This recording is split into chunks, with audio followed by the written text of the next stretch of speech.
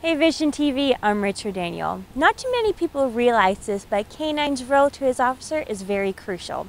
Today I got to speak with NGU's very own canine handler to talk about the importance of a canine dog.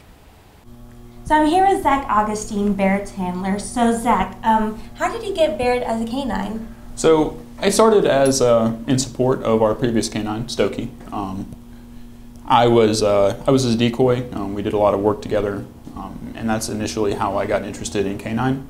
When it became time for uh, Stokey to retire, we went to the sheriff's office, who uh, trains all the local dogs, and they had Barrett available, so we went ahead and got him, and then we started training. So how much training did Barrett get, or is he still registering to be a canine? So Barrett and I did 300, about 300 hours over the summer. Okay. Um, in that 300 hours, it's a handler recertification course. Um, initially, when we get green dogs, they do a 600 hour course. That's where we imprint narcotics on them and teach them obedience and all their commands and even you know, teach them their name. Um, because Barrett had a previous handler, we didn't have to do that with him. So it only ended up being about a 300 hour course. So what does a daily schedule looks like for Barrett on a regular basis? Um, so we don't work at like a normal patrol schedule, um, although we are attached to uniform patrol. Um, normally get up, eat, both of us, um, mm-hmm. load up in the car, and we go and we hit the streets. Um, we patrol around campus. We train quite a bit, um, even on even on days off when we're not actually with our training group. We're doing obedience. We're you know laying out tracks. So it's constant upkeep, um, and then we also do narcotics detection and patrol work as well. And what kind of hours does Barrett work?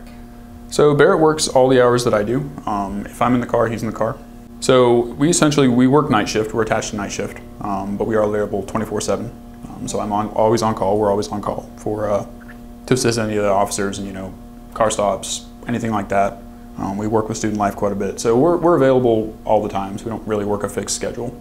And do you like having him as a canine? Oh, absolutely. Um, Barrett and I are very very similar um, in our attitudes. We want to go to work.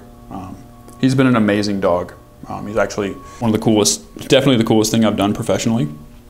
So as one can see, canine dogs are just as important as their officer. Reporting for Vision TV, I'm Rachel Daniel. Be sure to keep up with NGU Vision Media on Facebook and Instagram for your latest news on and off campus.